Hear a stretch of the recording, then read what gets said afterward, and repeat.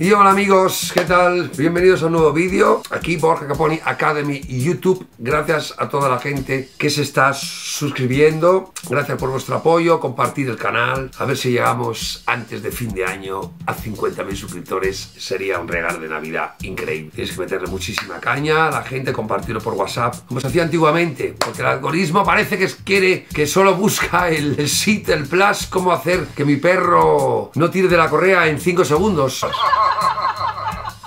solo busca tutoriales mecánicos y ya sabéis que el mundo del perro es algo orgánico para crear ese vínculo de confianza increíble.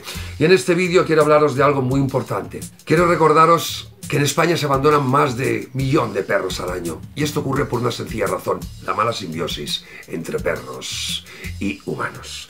Y antes de empezar con el vídeo, pienso Azul para los nuevos, os metís en la web piensoslobazul.com y en vuestro pedido, si ponéis el código Borja10, tendréis un 10% de descuento. Echar un vistazo a este pienso que es increíble, sin cereales y aparte me ayudan a mí y a mis perros a que puedan comer un pienso increíble. Vale, así que echar un vistacito, ponéis el código y os hacen un descuento. Y luego UBI24, una aplicación de veterinaria donde si te ocurre algo, con tu perro, Dios no quiera, estés donde estés, sea la hora que sea, en esa aplicación te consigue el veterinario rapidísimo.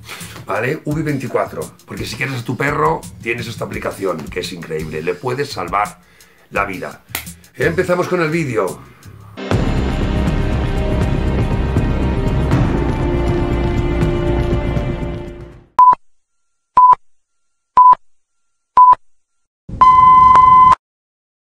El dilema. El dilema está escrito hace mucho tiempo. ¿Quién tiene a los perros? ¿Qué humanos tienen, coinciden y desean tener este increíble animal que lleva con nosotros construyendo también nuestra evolución muchísimos años y las perreras llenas, las protectoras llenas. Todos esos perros tenían un nombre. Millones y millones de perros de raza se abandonan todos los años Ahora, en las fiestas de Navidad, la gente pensando en comprar un perro. Es el dilema. Aprendamos de perro nada más. Entra en casa. Aquí te lo enseño. Muy fácil. Me llamas, no te cortes, yo no muerdo. Es mi trabajo, ¿vale? Y mm, me llamáis, os atiendo, facilísimo. Y os enseño muy rápido cómo tener un perro equilibrado, cómo no tener conflictos con él, asesorarte para elegir el perro más adecuado a tu vida y no obsesionarte con ese capricho, con ese perro que tanto quisiste sin entender lo que significa el genotipo del temperamento de nacimiento, que es lo que todo el mundo debería de entender antes de tener un perro y meter un perro en tu vida. El dilema cuál es pues que si no lo haces bien, si no estás capacitado psicológicamente, cuando el perro entre en su madurez sexual y no lo controles, ya sabemos lo que va a ocurrir. Primero es mi hijo y después se convierte en un cacho de carne con ojos. Si quieres a tu perro, aprende lo que piensa, nada más entra en casa. No seas tozudo. Él no puede elegir por ti. La irresponsabilidad que va ligada al dilema de qué personas tienen a los perros.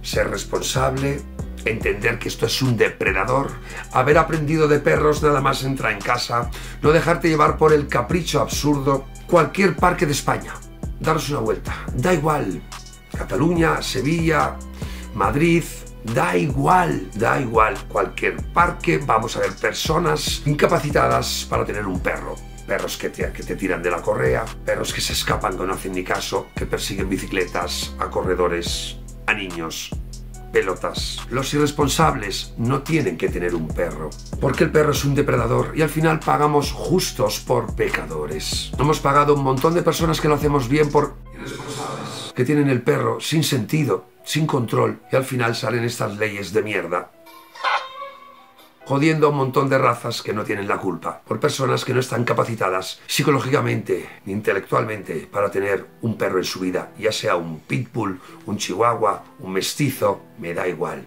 Repetimos, antes de tener un perro, aprende lo que piensa, para no tener conflictos y que luego paguemos justos por pecadores. Sé responsable desde que entra en casa. No solo es darle la comidita y no solo es acariciarle y no solo es llevarlo al veterinario. Hay que aprender la mente del depredador. Seguimos. Construir el vínculo con el perro, es decir, que nos haga caso, por lo tanto tenemos que entender cómo se construye, se fabrica esa simbiosis a través de algo natural que está en su ADN, que es el líder de la manada, el guía protector, el vínculo de confianza sin imposición y sí, sabiendo aplicar las reglas y los límites en estos animales, sin pegar, sin imposición, sin estrés, sobre todo, muy importante, nuestro estado de ánimo. Esa es la clave de todo, porque el perro siente todo nuestra mente primitiva, no nuestra mente abstracta, que también va ligada a la primitiva. Él no puede razonar ni imaginar, y menos aún autogestionarse para poder controlarse. Tenemos que ser nosotros los que bloqueamos algo que no queremos que haga, que normalmente son cosas desagradables que es innato en el depredador. Por eso es muy importante aprender a aplicar esas sensaciones naturales que también tenemos nosotros. Por eso el coach cuántico canino, porque el perro sigue a nuestra mejor versión. Y es muy importante entender que no tenemos que estar demasiados irritados, demasiados nerviosos, demasiados inseguros. Hay que aprender a construir ese liderazgo natural, que no el tirano como muchos quieren pintar, sino el maestro protector, como los niños al final que necesitan su referente. Es una sensación química, orgánica, natural, que está innata en nosotros. Hay personas que les sale mejor, hay personas que les sale peor. Pero evidentemente, aprendiendo bien, porque al final es un teatro, es un show súper divertido, como le digo siempre a la gente que me llama desesperado con sus perros, intento aplicar esta psicología. Amigos, esto es un teatro, es un show. No hay que tomar personal las acciones del perro, porque entonces automáticamente se rompe el vínculo y así no podemos ser el maestro protector. Aprende de perros, nada más entra casa. Vínculo de confianza. Hay que estar seguros, hay que estar tranquilos, hay que moverse con seguridad, con armonía, sin hacer círculos, siempre en zigzag cuando pasamos con el perro, ¿vale? Siempre en ángulos, no empezar a dar vueltas porque el perro entonces se piensa que estamos inseguros, siente nuestra inseguridad, siente que no tenemos el control. Por eso repito tantas veces que la manera de tratar al perro no es mecánica, sienta, tumba. Esto es un, un invento del ser humano cuando se descubrió el estímulo condicionado. Entonces se quiso manejar a las bestias a través el adiestramiento convencional, que no es más ni menos que desnaturalizar al animal, desnaturalizar al animal con ejercicios de repetición por imposición extrema, intentando suprimir la inteligencia instintiva y desarrollando a tope la funcional. Y contra la, madre naturaleza no se puede ir. Por eso hay que aprender a construir el liderazgo de la manera natural, más orgánica y más bonita posible. Así el perro deja de protegernos, deja de, de estar nervioso y de salir a la guerra, ya que si nosotros no tenemos el control de nuestra propia mente, ¿cómo vamos a tener el del perro? Y por supuesto, hay que entender cómo piensa el perro para saber administrar nuestra energía, nuestro estado de ánimo y nuestra manera de actuar frente al perro para que este animal deje de tener las riendas de nuestra vida, porque nosotros somos el capitán del barco y si no sabemos cómo construir ese vínculo de confianza a través de cómo se es el maestro protector, el perro automáticamente va a decir, este no vale como guía, tendré que ser yo. Y entonces, en genotipos, de una manera o de otra, pues ya sabemos que las manifestaciones van a ser múltiples. Y sobre todo, cosas que no nos gustan. Pero la culpa no es del perro, la culpa es nuestra, que no aprendimos cómo construir ese vínculo correcto. La misión. Y bueno amigos, la misión es poder intentar que algún día se ponga de moda aprender la mente de estos animales. Y que las personas, como digo en el vídeo de las tres causales, dejen de ser soberbias, dejen de tener el capricho, dejen de tener incertidumbre y no esperen tanto para aprender de perros cuando se tiene uno. Y esa soberbia, ese ego absurdo de no, no, yo he tenido perros siempre, le voy a enseñar cuatro cosas, voy a ver un tutorial, a ver cómo puedo aprender de perros, un tutorial para aprender a entender en un depredador. ¿Alguien buscaría un tutorial para montar a caballo? ¿A que sería absurdo? Pues con los perros también. Por eso hay tantísimos problemas con estos animales todas las llamadas que tengo de desesperación en el Facebook, en la web, todos los días lo mismo. La misión es que las personas se mentalicen. Por favor, para tener un perro hay que aprender su mente, que no adiestramiento, que es una pequeña parte también que se puede hacer, pero siempre sin obsesión y sin crear un estímulo positivo, sin sentido, dando comida como locos, sin sentido, porque esa, esa, esa simbiosis es totalmente artificial. Vale, entonces la misión es que todos estos perros que están en la protectoras y las perreras, más de la mitad son de raza, son como niños pequeños, es lo que a mí tanta pena me da. Y todos esos perros tenían un nombre y tuvieron un dueño, y como no aprendieron a controlarlo, al final... En la puta calle. La solución a estos políticos, todos los que van a hacer esta ley, ojalá pudiera asesoraros de verdad para saber cómo tenemos y a dónde debemos ir y a quién debemos de enseñar, que todo el mundo debería de aprender, pero lo más importante es por qué la gente lo hace tan mal. Y vas a un parque y es un desastre, y ves en segunda mano, el periódico está lleno de perros que se venden. ¡Ay, Dios mío de mi vida! Bulldog francés. Hola, querido. Hola, querido, hola, querido. ¿Cómo dar el cariño a los perros sin caer en el antropomorfismo? ¿Cómo crear estabilidad en los animales para no volverles locos? Porque un exceso de cariño sin control también puede provocar que el perro no nos considere el maestro protector y nos considere más un cachorro y luego dispensador de todo y luego ya sabes lo que va a pasar. Desestructuración del orden jerárquico, es decir, ansiedad por separación que lo creamos nosotros mismos. La solución, que la gente se mentalice de que cuando se tiene un perro hay que aprender su mente. Nada más entra en casa. Las tres causales, el capricho, la incertidumbre cuando ya no sabemos qué hacer y la soberbia porque la gente soberbia al final mm, se le va a tomar personal. Al final la gente se va a tomar personal, los soberbios, las acciones de su perro y lo van a maltratar, le van a pegar, le van a castigar pensando que el perro razona. Y amigos, los perros no pueden razonar, no pueden percibir, no pueden sentir, la mente abstracta, no tienen un concepto humano del bien y el mal, amigos. Ya está bien de pensar que el perro sabe lo que está haciendo. El perro tiene una mente de un bebé, de un niño de apenas un año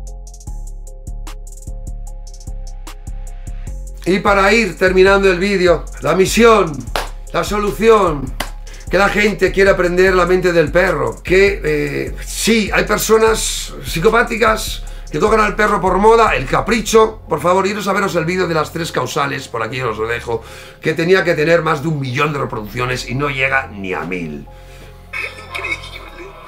Tanto queremos al perro, tanta demagogia, tantos años con estos animales y que acaben en las protectoras, dice mucho, y las perreras esperando al corredor de la muerte.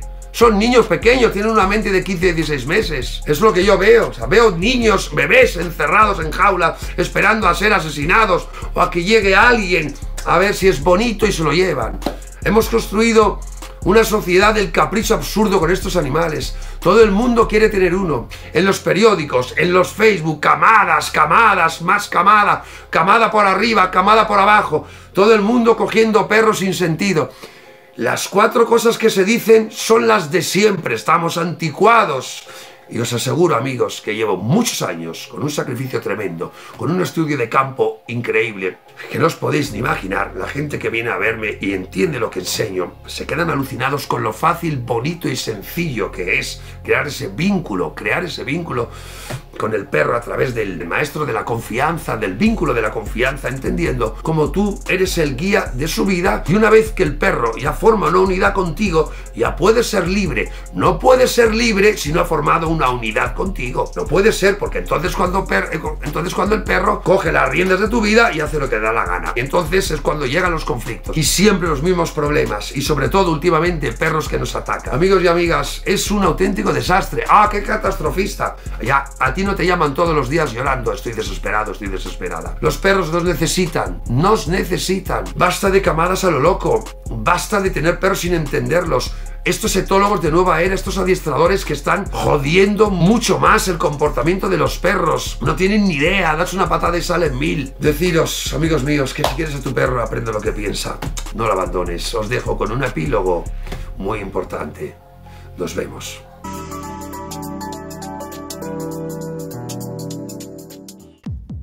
Carta de amor para los perros. Y los perros reflejan a la sociedad misma. ¿Y por qué diréis? ¿En qué sentido? Bueno, los abandonos hablan por sí solos.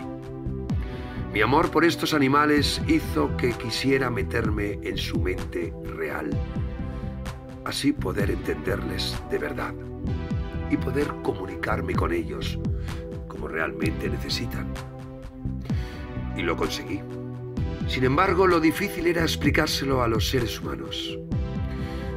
Y estoy aquí para defenderos a muerte, porque cuando les entiendes de verdad, ves su sufrimiento. Ves las señales que te están dando, los mensajes que te mandan a través de su movimiento tan sutil. Todo habla. Para verlo y comprenderlo hay que estar mucho tiempo observándolos, sin caer en el antropomorfismo. No pretender que sean humanoides robóticos y que tengan el botón de apagado y encendido.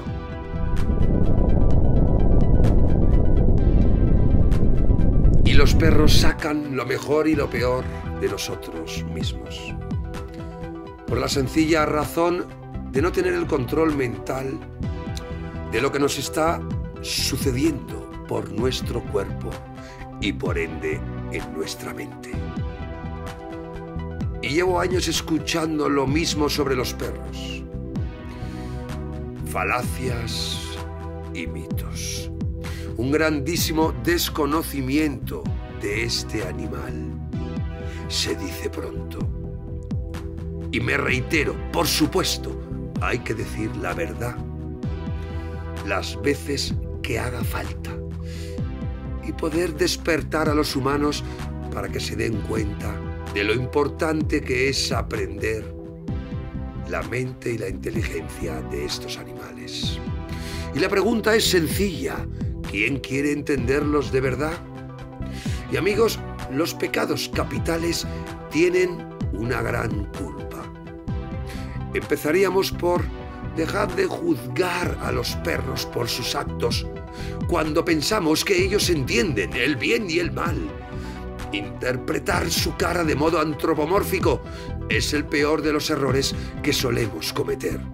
Y entonces es cuando empieza el caos. Los perros sufren por varias razones, muchas visibles y otras no. Las evidentes están más que claras. Humanos malvados con trastornos psicopáticos que sienten placer quitando la vida y haciendo daño a los perros. Y por supuesto, a los pobrecitos gatos, que ya da igual si es cachorro o no. Los humanos psicopáticos empiezan a maltratar animales a muy temprana edad. Así que papás y mamás, estaros al loro de vuestros hijos. Y seguimos con el vídeo. Y ahora vamos a hablar de los mal llamados problemas de conducta, que son los causantes de esta barbaridad que está ocurriendo. Y cuántas veces lo digo, ¿verdad? No paro de repetirlo. A veces me da hasta vergüenza. Sin embargo, al no ver resultado en las mentes, tendré que volver a repetirme cuantas veces hagan falta.